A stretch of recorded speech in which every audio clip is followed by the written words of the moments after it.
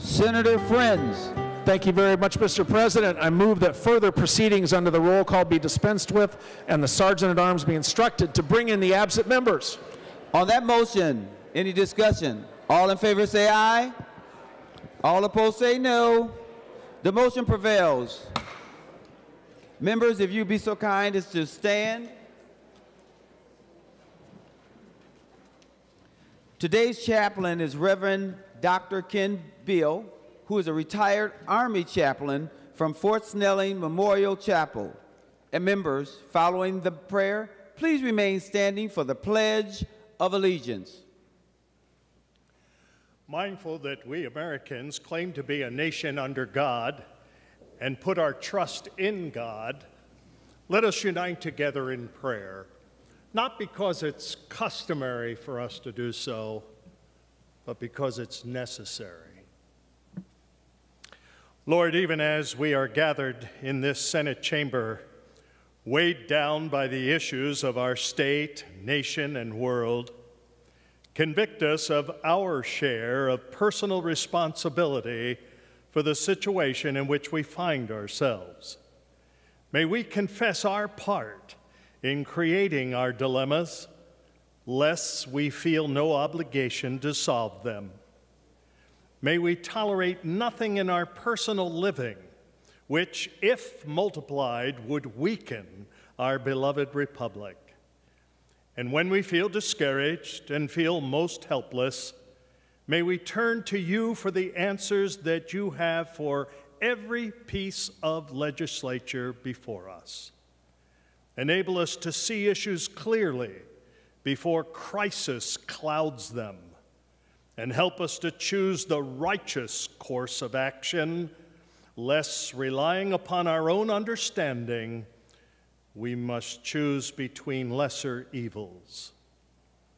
Lord, as grateful citizens, we would be remiss if we did not pause to give thanks for our many soldiers, sailors, airmen, and Marines, some of whom are gathered in this Capitol rotunda on this Veterans Day on the Hill. May this 1% of our citizenry, called Armed Forces Service members, who put their lives in harm's way for the remaining 99% of their fellow Americans, know us to be a grateful people.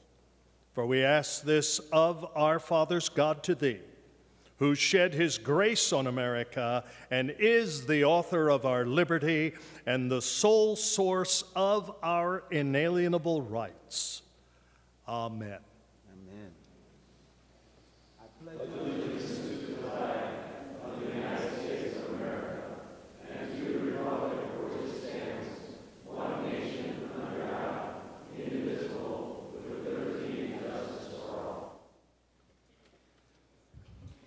Thank you, members. The secretary will take the roll. Abeler, Anderson, Bahr, Boldon, Carlson, Champion, Coleman, Cwodzinski, Dahms, Dibble, Dornink, Draheim, Drazkowski, Duckworth, Dziedzic, Eichorn, Farnsworth, Fateh, Frentz, Green, Gruenhagen, Gustafson, Hauschild, Hawj, Hoffman, Housley, Howe, Jasinski, Johnson, Klein, Koran, Kreun, Kunesh, Kupec, Lang, Latz, Lieske, Limmer, Lucero, Mann, Marty, Mathews, Maye Quade, McEwen, Miller, Mitchell, Mohamed, Morrison, Murphy, Nelson, Oumou Verbeten, Pappas, Pha, Port, Pratt, Putnam, Rarick, Rasmussen, Rest, Seeberger, Utke, Weber, Wesenberg, Westlin, Westrom, Wiklund, Zhang.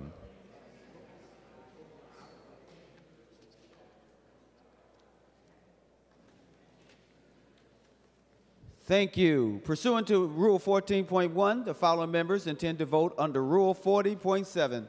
Dziedzic and Westrom. Members, a quorum is present. Members, if you care to follow along, I am going through the Senate agenda dated Thursday, March 30th, 2023. We will begin at the third order of business. Messages from the House. The Secretary will read the message. Mr. President, I have the honor to announce the passage by the House of the following House files herewith transmitted. House file numbers 375, 581, 1327, 1355, and 1523. Signed, Patrick D. Murphy, Chief Clerk, House of Representatives. Members, no action is required. We will now proceed to the fourth order of business, first reading of House bills. The House files have been given their first reading and referred as indicated. Members, we will now proceed to the fifth order of business, report of committees. Members, there is one report to be read. Senator Morrison for the motion to adopt committee reports after the secretary reports and reads the motion. Senator Marty from the Committee on Finance, to which was re-referred House File Number 19, a bill for an act relating to employment, providing for earned sick and safe time, adding a district court judge to the Ninth Judicial District. Reports the same back with the recommendation that House File Number 19, the first unofficial engrossment, be amended as follows. And when so amended, the bill do pass. Thank you for reading the committee report. Now, Senator Morrison for a motion to adopt the committee reports. Mr. President, I move the committee reports printed in the agenda and the report read by the secretary be adopted, and I do request a roll call. Roll call requested, a roll call granted. Any discussion? Seeing none, the secretary will take the roll.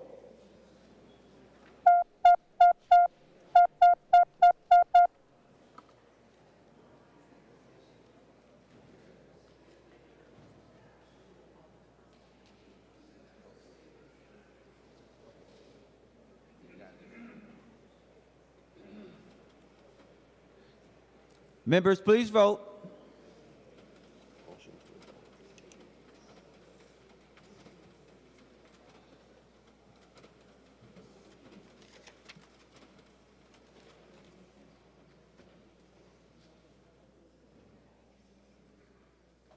Senator Murphy, for those voting under Rule 40.7? I think not. Uh, Senator Boldon, for those voting under Rule 40.7? Thank you, Mr. President. I report that Senator Dziedzic votes aye. Senator Dziedzic votes aye.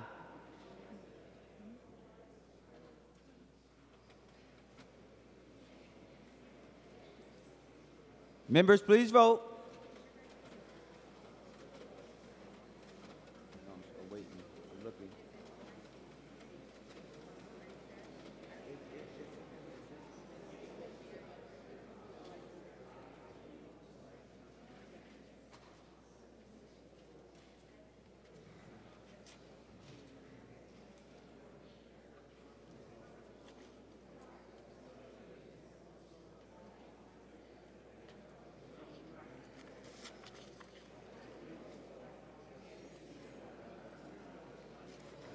Mr. President, Senator Jasinski, for those voting under Rule 40.7.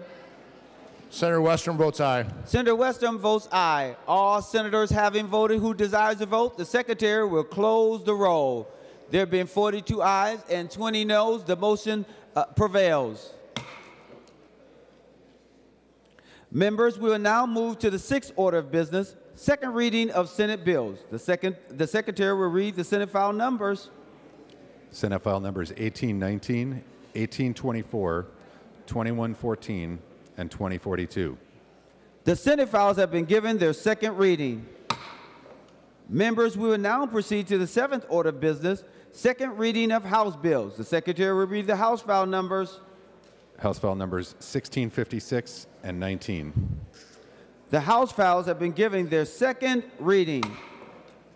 Members, we'll now proceed to the eighth order of business, which is the introduction of, of first reading of Senate bills.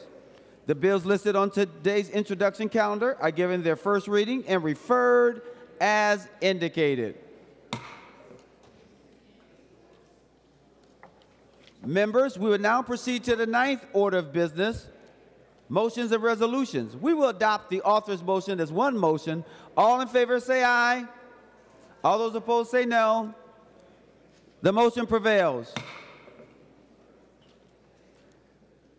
Senate Resolution Number 30 will be referred to the Committee on Rules and Administration. We will now move and remain in the same space. The Secretary will report Senate Concurrent Resolution Number 4. Senators Dziedzic, Johnson, and Morrison introduced Senate Concurrent Resolution Number 4, a Senate concurrent resolution relating to adjournment for more than three days. Senator Morrison. Senator Morrison. Mr. President, are we doing the concurrent resolution? We are, Senator Morrison. Mr. President, I move Senate concurrent resolution number four be adopted. to the resolution, Senator Morrison. Uh, Mr. President, we need to pass this to accommodate the uh, legislative break next week where we will not meet for three days. Thank you, Senator Morrison. Seeing no, uh, any discussion? Seeing no further discussion, all in favor say aye. All those opposed say no. The motion prevails. Remaining under the order of business of motions and resolutions, Senator Morrison to designate special orders. Mr. President, pursuant to Rule 26, I designate the following bill be made a special order for immediate consideration. And members, the special orders list is on your desk. We will now take up Senate file number 1213. Senator Oumou Verbeten. Thank you, Mr. President. Senate File 1213 is really a simple administrative change to how the Min-State system classifies its employees. And I just want to note up front that this bill um, represents an agreed upon change between the administration, uh, the faculty unions of Min-State colleges and universities as well. So, er, uh, under our current statute, faculty that teach uh, courses only under the summer months do not qualify for union representation, and this bill just fixes that. It expands union representation to Min State faculty um, that only teach courses during the summer. And when the uh, Public Employee Labor Relations Act was first passed in 1974, the summer courses were sort of rare. Um, now there's a lot more folks that are teaching in the summer, and it's primarily adjunct faculty that are going to be eligible for this union representation. So this change ensures that uh, those summer faculty receive the same benefits and protections. Those are things like guaranteed minimum pay, tuition uh, waivers, paid leave, professional development, and the bill does that simply by expanding the definition of the threshold from the academic year to the calendar year. The bill also maintains the existing minimum threshold required to qualify for union representation. So once a faculty member teaches more than three credits or two or more classes in a calendar year, they're then included in the bargaining unit um, determined by uh, the uh, Public Employee uh, Relations Act. It doesn't require anyone to join the union. It just requires that the bargaining units uh, represent all faculty who meet this criteria. And according to Min State, this change will impact uh, roughly 84 faculty members across two, par- uh, two bargaining units. There's no fiscal impact, and the faculty already received the minimum pay uh, set forth in the in the union contract. So it's really the inclusion of the other benefits, um, small number of imp- impacted faculty, um, and because of that, they don't expect that there's going to be any additional costs for Min State. So again, Min State agrees to this. The bargaining units, um, I think this is long overdue and just ensures that those folks have union representation. Uh, I do have a small technical amendment that I'd like to bring forward. The A2 amendment. Senator Oumou Verbeten offers the A2 amendment. The secretary will report the amendment. Senator Oumou Verbeten moves to amend Senate File Number 1213 as follows. Page 3, line 10, after more, insert credit bearing. This is the A2 amendment. Senator Oumou to your A2 amendment. Thank you, Mr. President. So this amendment just adds the word credit bearing to uh, the language to really ensure that the scope of the definition is narrow and um, expands this representation to those summer only faculty. And it was requested by the Min State system. It also includes an immediate effective date uh, so that the bargaining units can begin representing folks uh, this summer, 2023. Any other discussions to the A2 amendment? Um, a roll call requested. Roll call. Did you request a roll call on A2, Senator Oumou Verbeten? Yes, Mr. President. Roll call uh, requested. Roll call granted. Uh, Senator Duckworth. Uh, thank you, Mr. President. Just have one simple question uh, for the bill's author, if she would yield. Senator Oumou Verbeten will yield. Senator Duckworth. Uh, thank you, Mr. President. Thank you, Senator Oumou Verbeten. Um, uh, just curious, uh, first off, you answered several questions that I did have, so thank you for that. Um, but regarding the potential cost to the state or a fiscal impact, I'm just curious, uh, do you foresee or will this have any impact regarding some of the pension funds as relates to these folks um, if their uh, ability to join the union is expanded? Thank you. To the question, Senator Oumou Oumou. Thank you, Mr. President. Thank you, Senator Duckworth, for the question. Again, the bill um, does not have a fiscal impact, and Min-State and the bargaining units work together on this. They don't anticipate any additional costs. Uh, Senator Pratt. Thank you, Mr. Thank you, Mr. President. Would Senator Oumou Verbeten please uh, yield for a question?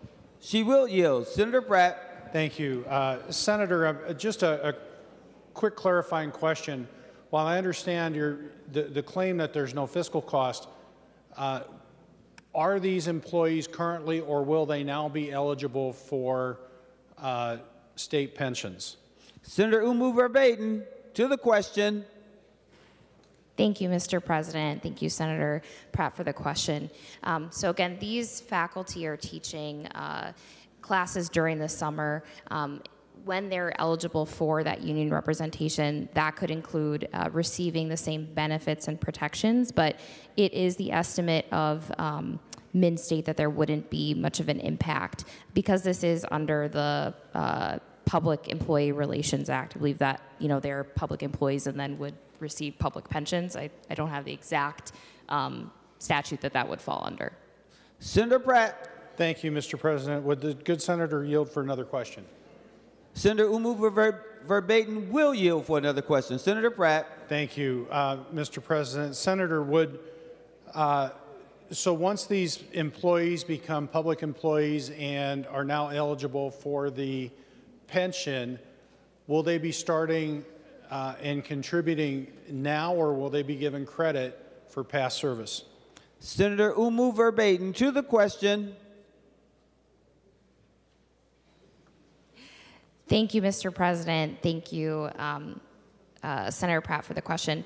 Um, I am um, just verifying some of that information with the the bargaining units, and it's their understanding that because this is impacting um, roughly 84 faculty. Um, that might be too, that's too few to be added to the pensions. So um, that, sh that shouldn't be the case. Senator Pratt. Thank you, Mr. President. Would Senator Frentz yield for a question? Senator Frentz, will you yield? He will yield. Senator Pratt. Thank you, Mr. President. Senator, as chair of the Pensions Committee, I just wanted to verify with you uh, that there will be no impact uh, to the pension that the state will have to make up on account of these employees being having their classification um, or, or being reclassified. Senator Frentz, to the question. Thank you very much, Mr. President, and thank you, Senator Pratt. I'm glad to report. I think that is a good question, although it's Chair Kaohly Her from the House who's actually chairing our pension commission for us. Uh, the inter, uh, interfaculty organization informs me that on both sides this was unanimously agreed to and that the pension impact is not one that the plan directors have expressed any concern about so passed unanimously and that's my understanding of its impact on pensions therefore full support for senator Oumou Verbeten's bill not just the pension aspect but everything she's trying to accomplish thank you senator pratt senator pratt thank you mr chair and, and senator Frentz thanks for the correction not that i'm trying to uh, uh, disrespect our, our uh, colleague in the other body, but I always assume the Senate's in charge. Any additional questions? Senator, uh, or discussion, Senator Pappas. Um, Thank you, Mr. President. Just to follow up, it's, it's like Senator it's like an IRAP, an IRA that they would be eligible for, a defined contribution plan. So it's just their own money that would be invested. And um, Mr. Senator President, I have a question for Senator Oumou Verbeten. I just want to clarify, because this came up earlier, um, you mentioned that it was adjunct faculty that just works in the summer, but I think according to my information, it's any adjunct faculty. If you, if you do a class in the fall or the spring, you still would be eligible to be included in the bargaining unit. So I just want to make sure that that's correct and that we clarify that. Thank you. Senator Verbeten, will you yield for a question? She will yield for a question. Senator Verbeten. Thank you, Mr. President. Uh, yes, that's correct. Senator Klein. Uh, thank you, Mr. President. And the question before the body right now is the A2 amendment. We seem to be debating the underlying bill. I would like to request a roll call on the A2 amendment. Roll call re a roll call granted. Any further discussion? Seeing none, the secretary will take the roll on the A2 amendment.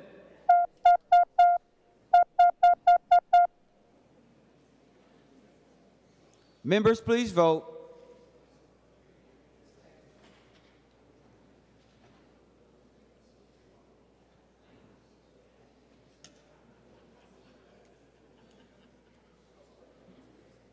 Senator Boldon, for those voting under Rule 40.7. Thank you, Mr. President. I report that Senator Dziedzic votes aye. Senator Dziedzic votes aye.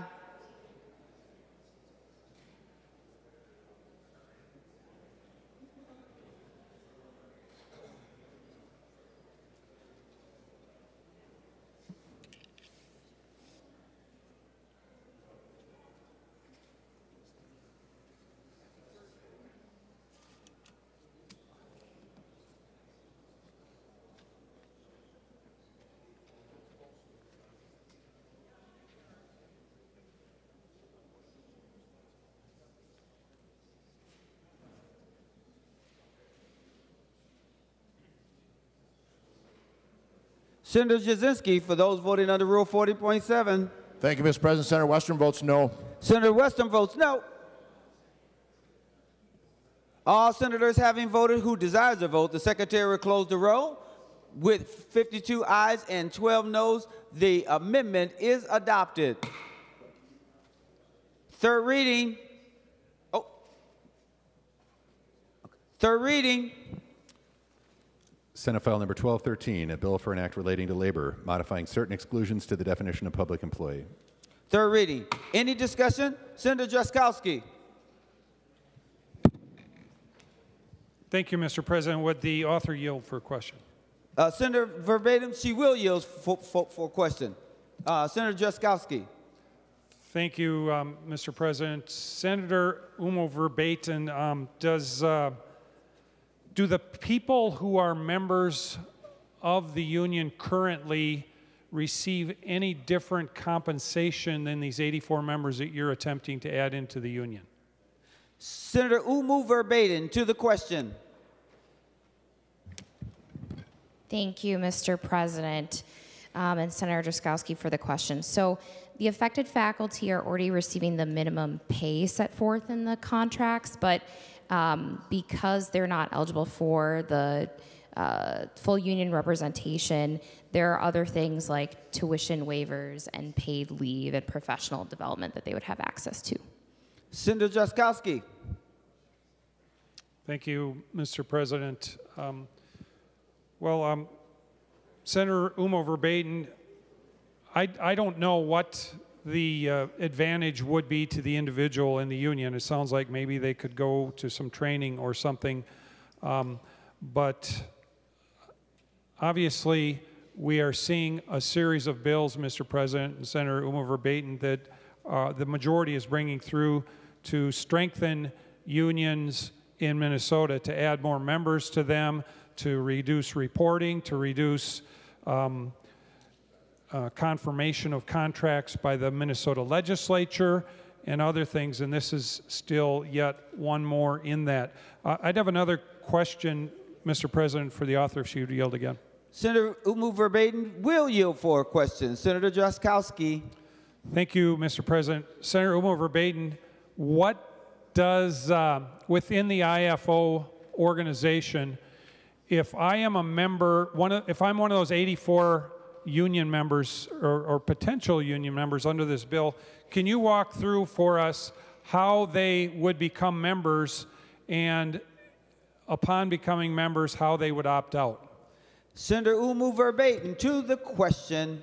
Thank you, Mr. President. Thank you, Senator Drazkowski, for the question. Again, this bill is not requiring anyone to join the union. It's just um, letting them be eligible. So through the, the same regular process of collective bargaining, they could decide to become members of the union or they could decide not to. But this, this bill does not change that. It does not require anyone to join a union. Senator Drazkowski. Thank you, Mr. President. Would the author yield again, Mr. President? Senator Oumou Verbeten will yield for a question. Senator Drazkowski. Thank you, Mr. President. Well, Senator, can you tell us, so if I am um, one of these adjunct professors at a Minnesota State college, and I want to join the IFO union after your bill passes, how do I do that? And then after I become a member, how do I undo that? Senator Oumou Verbeten to the question. Thank you, Mr. President. Thank you, Senator Drazkowski. To join the union, you would sign the card. Um, that's how you join. Senator Drazkowski Would she yield one more time, Mr. President? Will yield for another question. Senator Oumou Verbeten will yield for another question. Senator Drazkowski. Thank you, Mr. President. Thank you, Senator Oumou Verbeten. So, so they would fill out a card and join the union. How would they unsubscribe from the union? We have this Supreme Court decision called Janus. Um, and some of these unions, Senator, have developed very difficult approaches for individuals to unsubscribe. Uh, can you tell us how, it hand, how it's handled within the IFO union? Senator Oumou Verbeten to the question. Thank you, Mr. President. Um, you would submit a written letter, and there's a drop period to do so. It, I believe it's from April 1st to June 15th. Senator Drazkowski. Thank you, Mr. President. I think I, I think I heard, I couldn't hear real well, Mr. President, but I think I heard um, May 1st through June 13th or something like that. Um, so, members, thank you, um, Senator Oumou Verbeten. So, members, there is a hoop that's being put together by these unions, making it difficult for people to jump out of them. Uh, I don't see a lot of uh, benefit to this. Certainly, uh, the contributions uh, by unions to Democrats and their political uh, organizations, Mr. President, is very well documented. Uh, and this is yet uh, another pile of originally taxpayer money that will then be taken uh, from the hardworking Minnesotans among this 84 uh, member, potential membership class that's being added in here, and um, then become political contributions for the Democrats, Mr. President. Um, that's really uh, the main reason I'm against this bill. Um, I'm wondering, uh, I, one more question for the author, if she'd yield, Mr. President. Senator Oumou Verbeten will yield for another question. Senator Drazkowski. Thank you, Mr. President. Senator Oumou Verbeten, are there any faculty left that don't have an opportunity to join the union after your bill, or is, does this fully capture all of the union member or all of the faculty within the IFO union. Senator Oumou Verbeten to the question. Thank you, Mr. President. Thank you, Senator Drazkowski, for the question. Again, this bill does not require anyone to join the union, so it just it allows folks to be eligible um, for union representation. No one is required to do so. Senator Drazkowski to Thank you, Mr. President. Well, I didn't get the answer to my question, Mr. President, but I, it, it appears from the bill that, uh, that we have found all of the instructors and all of the people who could potentially join this union in the bill, and, and uh, the majority here is attempting to uh, herd them all into their uh, all into the union in order to maximize uh, output or throughput. I can understand that. I'm curious if the uh, kids in the schools are going to be the next ones to be unionized, Mr. President, but uh, I say that tongue in cheek and uh, encourage members to vote no on the bill. Thank you. The Secretary would take the roll on final passage of Senate File 1213 as amended. Mr. President. Senator Fateh. Thank you, Mr. President. Um, I just wanted to make one quick remark. Senate File 1213 is a simple yet important fix uh, to close a loophole in our definition of public employee. Uh, this bill allows adjunct faculty and summer faculty who teach at the Minnesota State System uh, to receive the same union representation as all other uh, faculty. Higher education does not look the same as it once did. Uh, a lot of crucial instruction our students receive happens over the summer or in less traditional settings. The faculty providing this instruction are essential to the success of all students in the Minnesota state system, and we owe it to them to treat them fairly. Uh, this will ensure that all faculty members have the opportunity to receive the same benefits and protections regardless of the part of the academic year that they teach in. Um, as the chair of higher education, I want to thank Senator Oumou Verbeten and the advocates from the IFO and the Minnesota State College faculty for their hard work to move this bill forward, and I encourage all members to vote green. Thank you. The Secretary will take the roll on final passage of Senate File 1213 as amended.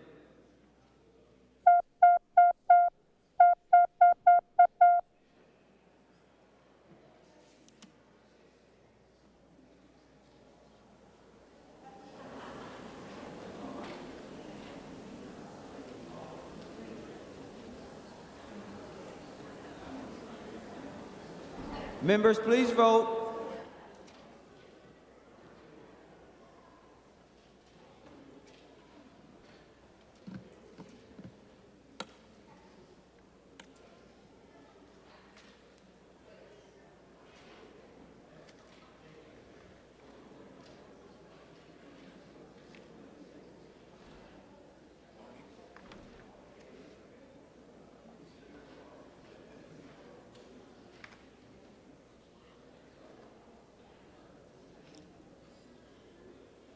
Senator, Oop, uh, excuse me, Senator Boldon for those voting under Rule 40.7. Thank you, Mr. President. I report that Senator Dziedzic votes aye. Senator Dziedzic votes aye. Senator Jasinski, those voting under Rule 40.7. Thank you, Mr. President. Senator Westrom votes no. Senator Westrom votes no. Members, please vote. All senators having voted who desires to vote, the secretary will close the roll. There being 44 ayes and 20 noes, the bill passes and, the, and its title agreed to. Members, we will now go to the 13th order of business. Announcements of Senate interest. Without objection, the following senators will be excused from today's session. Lang, Latz, all day. Farnsworth, 1130 to the end. Any additional announcements? Senator Jasinski. Uh, thank you, Mr. President. I know it's uh, far in advance, but I want to give people a reminder. Uh, this year's annual I-90 party uh, is being scheduled for Monday, May 1st. Starts at about approximately 4.30 p.m. It's at CHS Field here in St. Paul. Uh, I know we work hard all session long. Uh, sometimes we have disagreements, but this is the one night we can enjoy each other's company uh, and set our differences aside. I hope you, I hope you attend the uh, event. Uh, we'll be having uh, pork producers and Schell's beer, and there'll be all kinds of things. There's a, a $10 donation being asked to, to join the event, uh, but I hope you can all attend. For you new members uh, that are here uh, the first year, it's a very good event, uh, great venue, and uh, it's a, a nice evening, so thank you. Any additional announcements of Senate interest? Any additional announcements of Senate interest? Seeing none, Senator Morrison. Mr. President, I move that the Senate do now adjourn until Monday, April 3rd at 12 noon. On that motion, all in favor say aye. All those opposed say no. The motion prevails. The Senate is now adjourned.